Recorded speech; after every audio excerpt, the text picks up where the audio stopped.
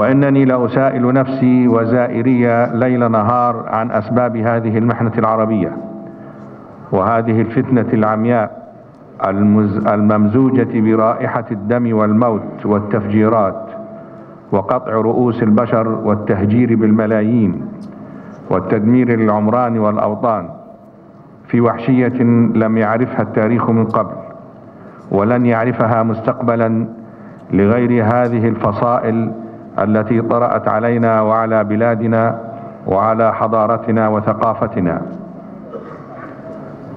وتجاوزت كل الحدود التي وضعتها الأديان والأخلاق والأعراف الإنسانية لتفرق بها بين الوحش المفترس وبين الإنسان العاقل المفكر. وثالثة الأثافي أيها الإخوة الأفاضل أن هذه الجرائم البربرية النكراء ما لبثت أن تدثرت بدثار هذا الدين الحنيف وأطلقت على الأوكار التي تدبر فيها أمر جرائمها اسم الدولة الإسلامية أو دولة الخلافة الإسلامية أو غير ذلك من الأسماء والعناوين. في محاولة لتصدير صورة إسلامهم الجديد المغشوش بحسبانه دينا جاء للناس بالذبح وقطع رأس كل من يخالفه أو تهجيره من دياره. وهذه الصورة الكريمة الظالمة لديننا الحنيف طالما كانت أملا تمناه أعداء الإسلام وانتظروه. بل طالما دندنوا حوله ونسجوا من أجله أفانين من الأباطيل والمفتريات والأكاذيب.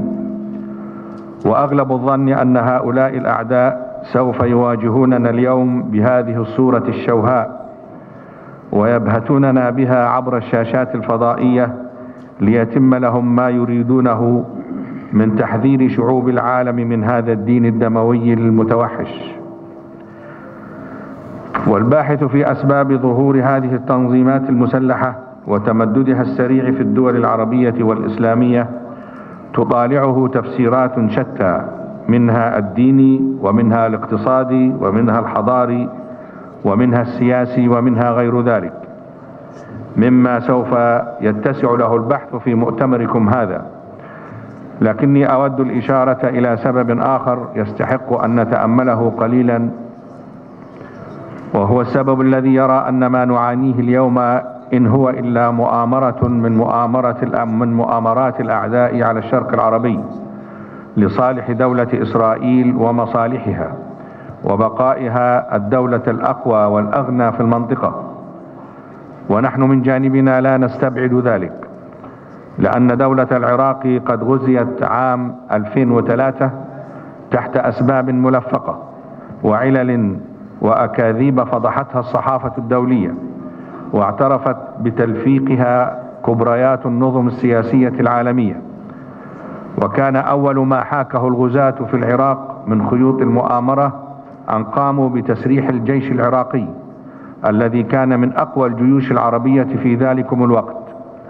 وكذلك تسريح ضباطه وجنوده وترك أسلحته نهبا لفصائل وميليشيات يعلم الغزاة جيدا أنها ميليشيات متناحرة مذهبا وعقيدة وولاء. فماذا كانت النتيجة بعد إحدى عشرة سنة من, من اجتياح العراق؟ لقد دخل العراق في دوامة الاقتتال وظل يسبح في بحور من دماء لم ير لها شطآنا ولو من بعيد حتى يوم الناس هذا. والشيء نفسه يقال على سوريا وعلى اليمن وعلى ليبيا حيث تلعب المؤامرة على التوتر المذهبي والعرقي والطائفي. مع إمداد المتوترين بالسلاح لتندلع الحرائق ويحصد الموت أرواح الآلاف من شباب هذه الأمة. والله وحده الذي يعلم متى تصمت آلة الحرب في هذه الدول المنكوبة ومتى يقدر لهذه البلاد أن يكون قرارها من رأسها لا بضغوط أو تدخلات إقليمية أو دولية.